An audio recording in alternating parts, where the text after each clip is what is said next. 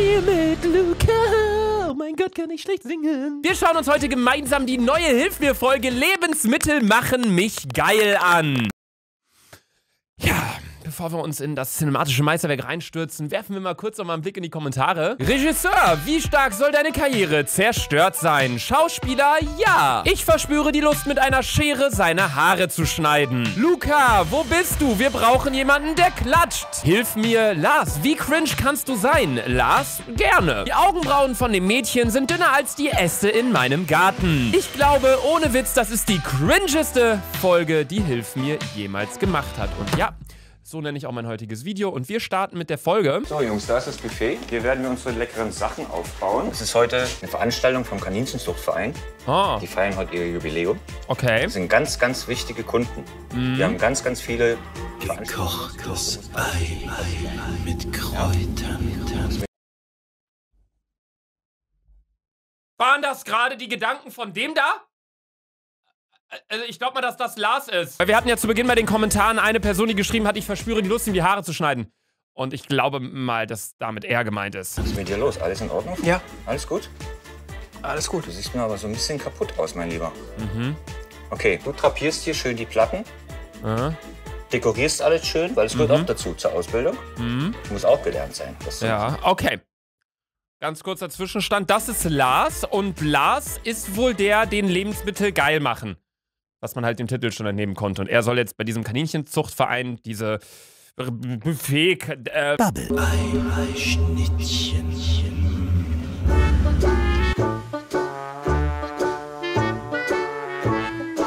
wie bitte? Lars scheint eine ausgeprägte Libido und eine ziemlich skurrile Vorliebe für Lebensmittel zu haben. Der Fachbegriff hierfür lautet Cytophilie. Bubble. Wenn er sich so stark von Lebensmitteln angezogen fühlt, würde ich ihm raten, den Job zu wechseln, da es sonst möglicherweise zu Problemen kommen kann.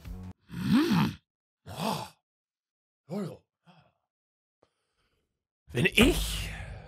Da, Halt einfach der Maul. ähm, Oh, war das geil.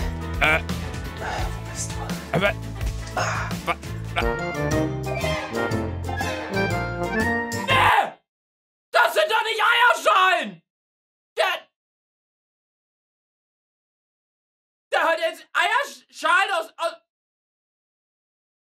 Ey, da, das ist ja. Menschlich gesehen ziemlich. Cytophilie. Du stehst da immer noch. Was soll denn das?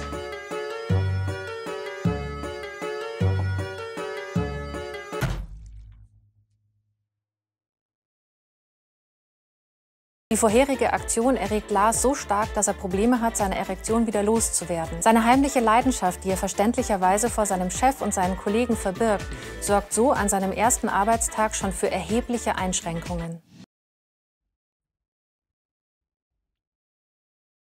Ich würde mir am liebsten dieses Ding. Äh, warum habe ich mir überhaupt so Schlagzeugsticks bestellt?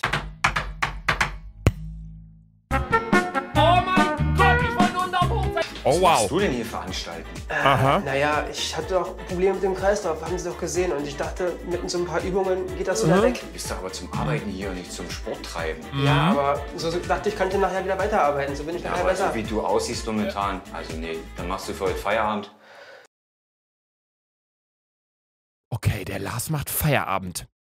Aber der ist doch gerade in seinem Lustparadies da mit den ganzen Eiern mit Kräutern und so. Was machst du denn schon zu Hause? Ist das seine Müsstest Mutter? du nicht auf Arbeit sein? Sag mal, wie siehst du denn überhaupt aus? Okay. Der Lars wohnt also anscheinend noch zu Hause bei seiner Mutter.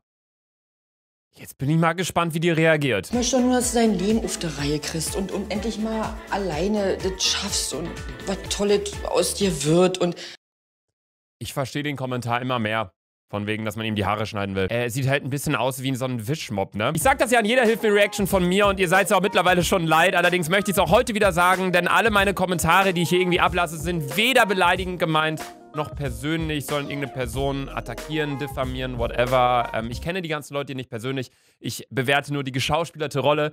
Und dieser Lars, also diese geschauspielerte Person, ist halt eine extrem peinliche Person. Wo ich allerdings gerade schon dabei bin, ein bisschen was zu erzählen, ähm, wollte ich euch noch ganz kurz sagen, dass dieses nicht T-Shirt, also das gibt's auch zu kaufen im Lukas-Shop, aber das hier, Das ist ja der Podcast von Sandra und mir, dick und doof. Da jeder gerade nur zu Hause rumsitzt, haben wir uns gesagt, dass wir ab jetzt tägliche Podcast-Folgen rausbringen. Also die Donnerstagsfolge, die 45 Minuten lang ist, bleibt bestehen. Und an jedem anderen Tag kommt eine kurze 15 bis 20 Minuten Live-Update-Folge von Sandra aus Bielefeld und mir aus Köln. Wir telefonieren dann und nehmen das zusammen auf. Und jetzt gerade ging sogar schon die erste Folge online. Also schaut mal in der Beschreibung vorbei, folgt uns bei Spotify, whatever. Und jetzt schauen wir uns weiter die Folge an. Lars scheint zu Hause bei seiner Mutter nicht viel zu melden zu haben.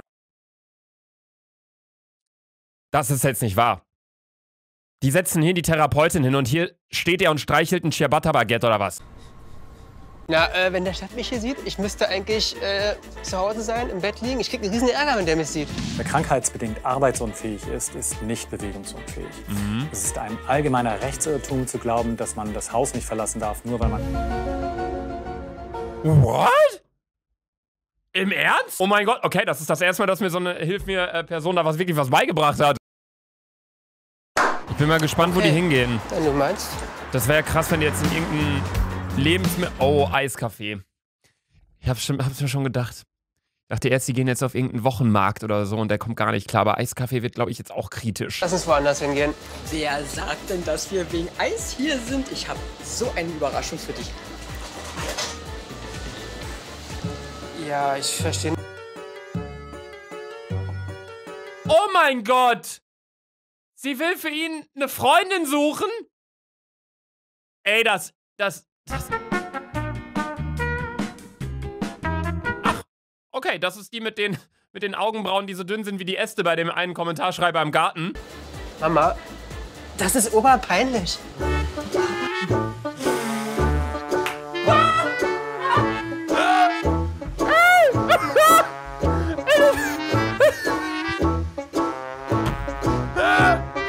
Was ist denn das? Also, mal dir deine Augenbrauen auf, wie du möchtest. Aber das, das sieht so ein bisschen aus, wie wenn man so ein, so ein, so ein böses Gesicht malen sollte. So einen bösen Smiley. Da malt sie ja auch einfach nur so zwei Augen und so zwei Striche. Das ist, sie, also sie ist, sie, ist, sie ist so ein Smiley, so ein böser Smiley ist sie. Wieder überhaupt nicht böse gemeint. Wenn man es mag, dann.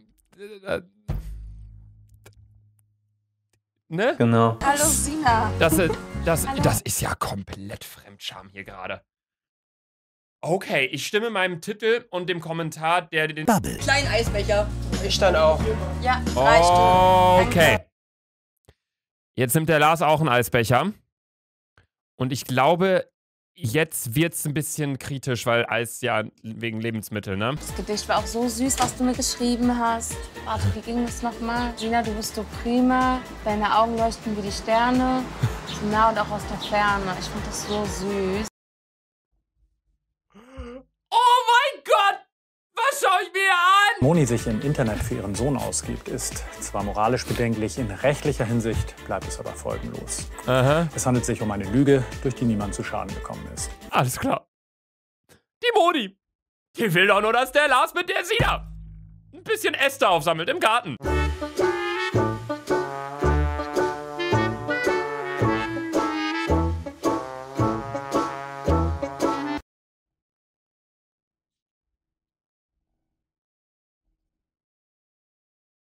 Ich brauche hier so einen Kotzeimer. Ich muss euch die Szenen hier gerade komplett zensieren, weil er da seinen Bauch einreibt mit, mit Eis. Dekoriert ihr das einfach so schön. dann Oh, jetzt ist er wieder zurück bei der Arbeit.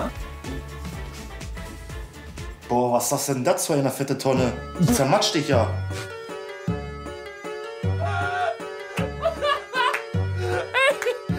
Was, was ist das für eine Folge? Oh, jetzt kommt schon wieder dieser komische Sound. Melone. Melone. Honig, Melone. Melone, Melone. Oh. Jetzt kommt.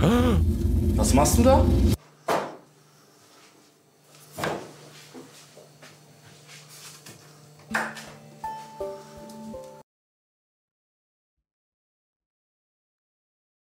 Irgendwie finde ich die Folge nicht mehr nur cringy, sondern irgendwie auch so ein bisschen gruselig verstörend. 12 seconds later. Vorbei! Gut! Das, da, oh nein, es gibt doch nicht. Es, es, es gibt, es gibt einen zweiten Teil.